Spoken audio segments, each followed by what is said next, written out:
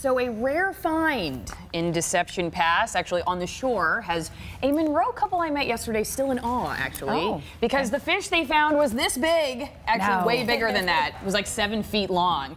Uh, take a look at this video. Here we go. Craig Leone and his girlfriend Kristen Berg. There it is. His it, that eye right there is the size of his fist. They spotted this silver object. They think it's a pan. Turns out it's this huge fish. It's actually a kind of ribbon fish that lives really deep, like three to 4,000 feet deep, so humans rarely ever get to see them. And they're also actually surrounded by local legend named the King of the Salmon by the Makah tribe because the story goes that these fish lead all the other salmon to spawn.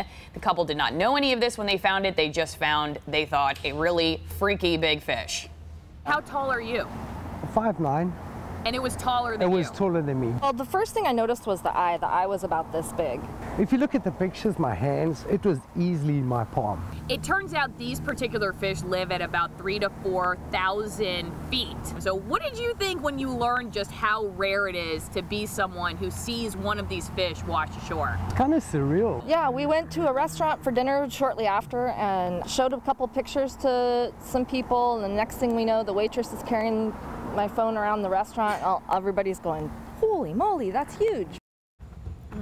So it's actually really bad luck to catch one of these fish if you're out in the open waters, and typically they're out in the ocean. It just somehow made it into Puget Sound um, because of this legend that they lead the other salmon to spawn. So if you take one of them, and there's all these salmon around that don't know where to go to lay their eggs. Yeah, but three to four thousand feet deep. Are people actually fishing that deep? For, No, don't ruin it. Don't ruin it, Jordan. I'm just thinking, like logistically. I'm like, my gosh, that is a deep swimming fish. Yeah.